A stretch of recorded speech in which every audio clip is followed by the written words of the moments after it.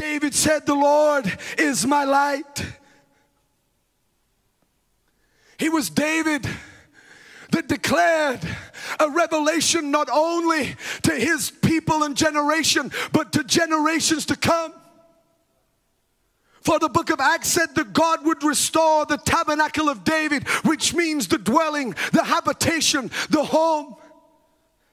In other words, there would come through the blood and the power of the Holy Spirit that no longer would God fill buildings, He would fill His temple. And that's you and that's me. Glory be to God. The Lord is my light and my salvation. That's why Jesus said, I must work the works of Him who sent me while it is day. The night is coming when no one can work. He said, Walk while you have the light. He didn't say pause, settle down, get comfortable. There's a pandemic. He said, No, get up, keep walking, keep pressing in, keep declaring no matter what. In this day, we got to have a revelation. The Lord is my light and my salvation.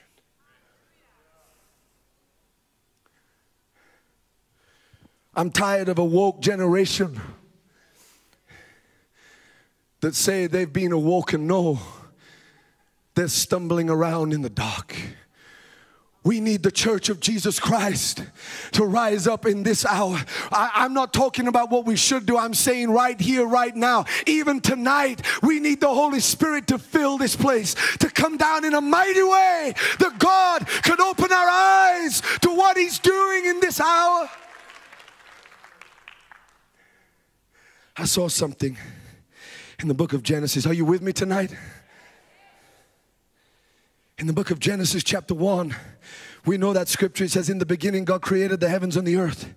And the earth was without form and void, and darkness was on the face of the deep. And the Spirit of God was hovering over the face of the waters. Then God said, Let there be light. Did you notice that's the first thing He said? The first thing God declared, let there be light. And the Bible says there was light because His word cannot return to Him void. The Holy Spirit was hovering, waiting for the word.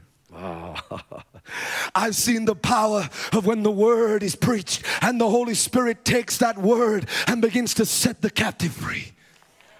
Oh, hallelujah.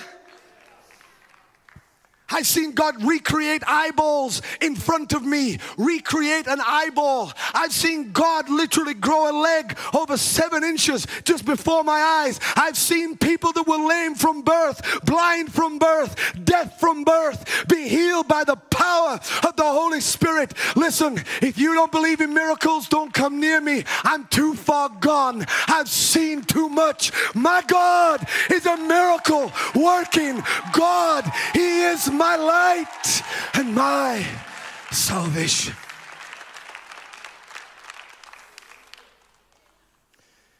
In the midst of a darkness, watch this. And God saw the light that it was good. And God divided the light from the darkness. And God called the light day, and darkness he called night. And the evening and the morning with the first day.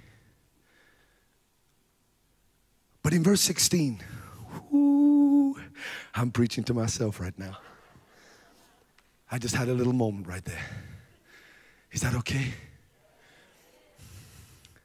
Some of you can smile, you know, we're in the presence of the Lord. Then God made two great lights the greater light to rule the day, and the lesser light to rule the night. God set them in the firmament of the heavens to give light on the earth and to rule over the day and over the night and to divide the light from the darkness. And God saw that it was good. God creates the sun and the moon. Verse 19. So the evening and the morning were the fourth day. Well, there's a blank look on. Okay. Did you get it? Did I not just read to you that God said, Let there be light, and He said this was the first day? then didn't I just read to you that God made the sun and the moon and this he called the fourth day? He made the sun to give light in the natural realm, and that was the fourth day, right? You read scripture. I want to ask you a question. If there was light on the first day, but he didn't make the sun and the moon till the fourth day, that means for three days.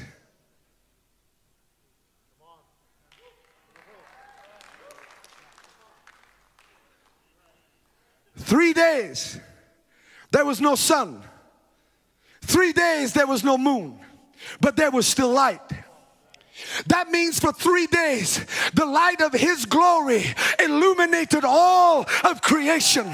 The light of His glory, it was like God was introducing Himself to say, Listen, I'm going to make the sun, but the light of the world is my glory. It is my Son. He is the light of the world. Give God a mighty shout of praise. For those of you that are theologians and you're saying, mm, yeah, okay, I got proof.